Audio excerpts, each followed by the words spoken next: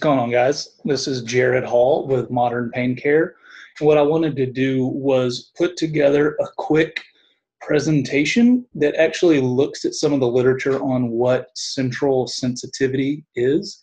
There's been a lot of discussions going on lately and seems to be a lot of confusion. And, you know, I myself was pretty confused about this as well, which uh, caused me to dive into the literature on it and, and figure out what does the literature actually say that central sensitivity is? So hopefully with this presentation, we can get a little bit of clarity and uh, refine our thinking. So central sensitization is actually an increased responsiveness of nociceptive neurons in the central nervous system to their normal or subthreshold afferent inputs. So essentially it's just, it's an upregulation of the central aspects of the nociceptive system. So if you see the little diagram I've created there, the little picture, you have a little bit of nociception coming up the peripheral nervous system, and as soon as it hits the central nervous system, that is increased, and you see a, a lot bigger degree of nociception facilitated up to the brain. So, why do we have central sensitization? And in a nutshell, it's our nervous system telling us to pay attention. And if a noxious stimulus overwhelms the nociceptive defense system, causing some sort of tissue injury, the imperative is no longer avoidance of a noxious stimulus, but it's rather to enable healing. So if we make something extra sensitive, it's more likely to heal because we're more likely to avoid overusing whatever that area of the body is to prevent uh, further injury or to allow for a little bit of a mobilization for healing. Because if something hurts really bad, you're not going to walk on it, you're not going to press it, you're not going to use it or bend it or twist it or whatever it may be. So, nociception is to alert the brain of potentially noxious stimuli. Central sensitization is one mechanism to make things hurt more so you pay more attention to it. Um, central sensitization happens almost invariably in any sort of tissue damage and some literature actually says it has the tendency to be worse and longer lasting when the peripheral origin is in the joint or a muscle rather than up some other form of connective tissue.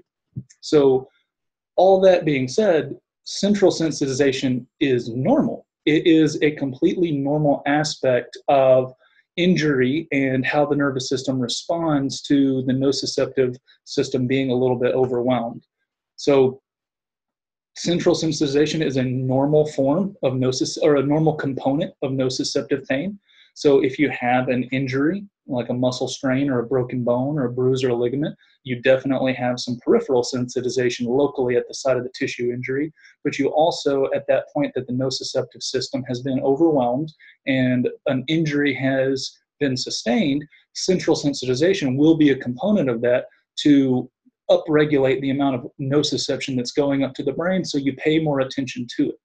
It's also a normal component of neuropathic pain. So things like radiculopathy, carpal tunnel syndrome, phantom limb pain, and, and CRPS uh, type 2, where there's a lesion to the peripheral nervous system. And we, we know that the nervous system, the peripheral nervous system, has its own um, inherent nociceptive system as well, which is the nervi nervorum.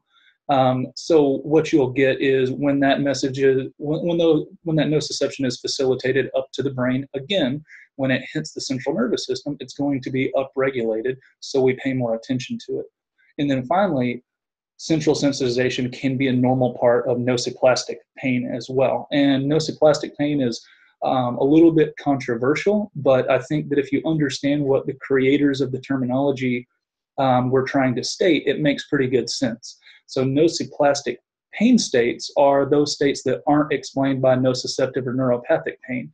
Things like irritable bowel syndrome and chronic low back pain and migraines and fibromyalgia and CRPS type 1. So in these conditions, there's no um, notable site of nerve injury and there's no notable site of significant tissue damage that should be causing nociception.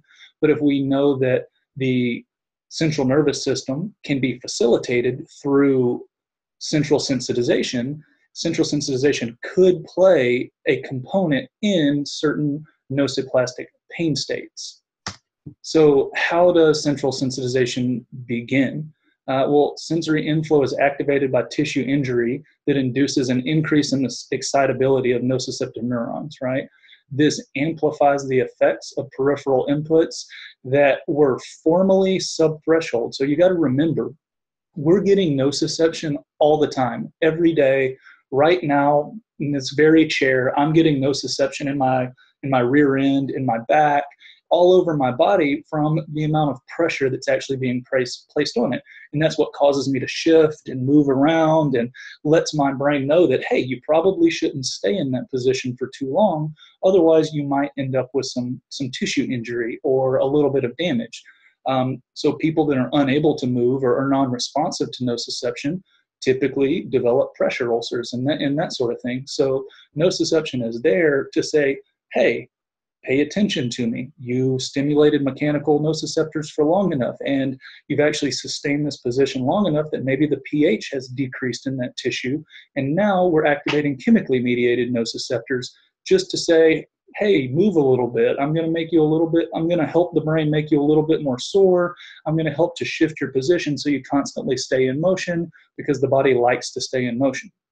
So, um, these changes can enable you know, innocuous mechanical inputs to now engage nociceptive pathways. So that's what's called tactile allodynia. So when something that should not hurt at all now all of a sudden is perceived as painful because there's a there's a large upregulation of nociception in the central nervous system it can cause the spread of sensitivity outside the area of injury to non-injured tissues and that's called secondary hyperalgesia so the, the the field spreads a little bit because the central nociceptive system can um, kind of crosstalk to uh, nearby areas.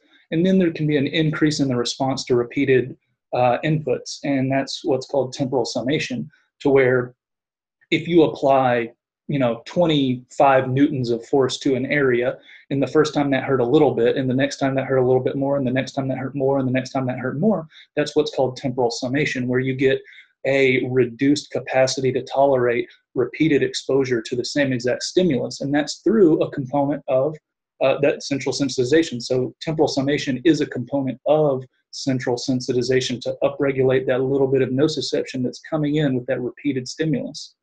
So essentially, in a nutshell, the nervous system changes functionally and structurally to encourage you to pay attention to what's going on. So it starts talking through a megaphone, so you'll listen. So a major feature of the nervous system is its plasticity and modif- modifiability. Nerves that fire together wire together. And uh, this is how we can get into maladaptive pain states. So, plasticity most of the time is adaptive. However, there are certain cases that it could be maladaptive in um, prolonged exposure to a nociceptive stimulus that leads to prolonged um, presence of central sensitization could cause some functional and structural changes to the way that the nervous system works, which could be somewhat maladaptive. So, to quote Clifford Woolf, one prominent example of maladaptive neuroplasticity is seen in those forms of neuronal plasticity in the nociceptive circuits in the central nervous system that constitute central sensitization and which represent a major underlying contributor to many persistent clinical pain states by amplifying pain. So they're, they're those changes are amplifying nociception, which is then perceived by the brain as an increased amount of danger or damage, which leads to a greater output of pain. So some of the plasticity can be functional. So this reflects, uh, you know, altered activity due to changes in the excitability of neurons. So we can think about um, inhibitory postsynaptic potentials and excitatory postsynaptic potentials. And we can talk about, you know, maybe there's a little bit of change in the the resting um, voltage level in neurons that leads to an increased excitability. So it takes less stimulus to actually activate those neurons. So some examples of that are homosynaptic facilitation in which temporal summation is a component of homosynaptic facilitation, which there's a progressive increase in pain intensity during re- repetition of an identical noxious stimulus. So that that kind of repeated exposure facilitates more and more homosynaptic facilitation, which leads to increased nociception up to the brain, which subsequently leads to an increased um, output of the experience of pain. Then there's heterosynaptic facilitation when um, you get changes in synapses not restricted to the initiating nociceptor. So um, this is where you could get some of the crossover into uh, neural pathways that are supposed to carry light touch and vibration type information. And all of a sudden now they're crossing over with the nociceptive system and light touch is perceived by the brain as nociception. And then you have disinhibition, which is loss of inhibition by decreasing GABAergic and glycinergic tone, and that creates to that, that leads to increased hyperexcitability as well. Then, of course, there's chemical changes that can occur. So you can have an increase in inflammatory cytokines or different uh, neurotransmitters that actually increase the activation of NMDA receptors and the increased activation of NMDA receptors by things like certain inflammatory cytokines leads to an increased facilitation of neuronal firing, which leads to greater nociception to the brain through the central aspect of the nociceptive system. Then, of course, you can actually have the plastic changes in the way that the nervous system functions. So, on, on the left, you'll see a normal amount of tissue damage leads to a normal amount of pain that would be expected. And then, if you transition over to the bottom left, you see a normal amount of feather tickle or a normal amount of light touch leads to the perception of a normal amount of light touch by the brain. But if we go over to the right side, where we see one of the structural changes that occur in central sensitization, a noxious stimuli is all of a sudden, boom, it's twice as much, or three times as much, or four times as much when it travels through the nociceptive system because it's amplified structurally because you lose the inhibitory interneurons, maybe in the dorsal horn of the spinal cord and, and maybe further up the chain in the, uh, in the brainstem and that sort of thing. So we lose some of the inhibitory interneurons that are supposed to be gating out some of that ascending nociception. And when none of that ascending nociception is gated out, the full amount of it reaches the brain, which causes the brain to perceive a lot of threat. And when the brain perceives a lot of threat, you lead that leads to a greater output of the experience of pain. And then if you look at the bottom right, we have what I talked about a second ago, possibly with some of the heterosynaptic facilitation, where a light touch all of a sudden leads to a crossover through neuronal connections into the nociceptive pathway, which leads to pain. So now all of a sudden, a light touch or you know a, a really light pressure leads to the experience of pain because inhibitory interneurons again have been lost and they have pre- they're no longer there to prevent some of the crosstalk that could occur between those um, A beta fibers and maybe some of the C free nerve endings or A delta fibers traveling up to the brain. So you get a little bit of crossover, and once that information hits the brain, it is perceived by the brain to be coming from the nociceptive system, which leads to the output of pain in a completely non-noxious stimuli, which is referred to as allodynia. So why does all this matter? Well, it matters because we need to understand that pain is not simply a reflection of tissue damage or inflammation, but also has a big central amplification role. So implying treatment targeted only at the peripheral periphery may not be effective in a lot of patient cohorts that, that present with persistent maladaptive central sensitization.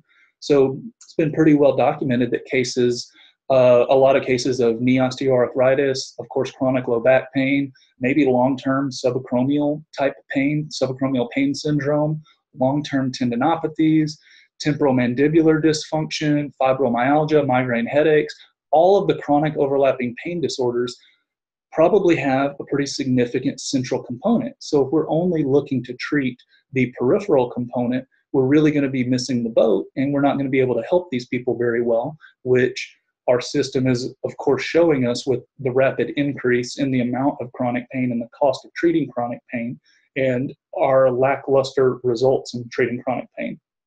So here are a few of the resources that I used for creating this presentation.